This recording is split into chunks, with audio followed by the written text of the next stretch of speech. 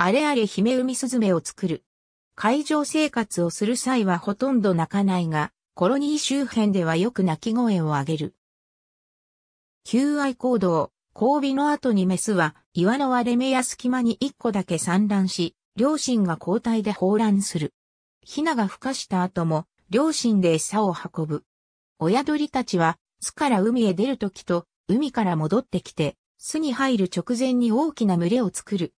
親鳥はそのウに餌を溜め込むので、たくさん餌を集めた親鳥は、喉まで大きく膨らんだ状態で巣に戻ってくる。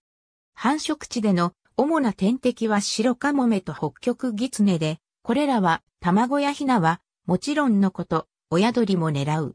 また、北極熊がヒメウミスズメの卵を食べていたという報告もある。ヒメウミスズメの群れ。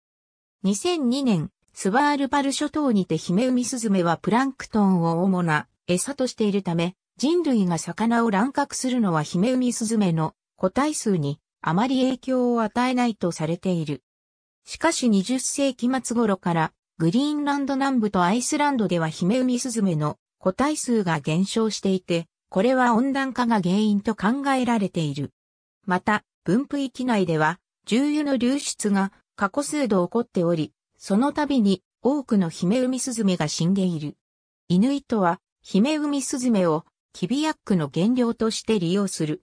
キビヤックはヒメウミスズメを内臓を抜いたアザラシの内部に詰め込み数年寝かせることによって作る発酵食品である。ありがとうございます。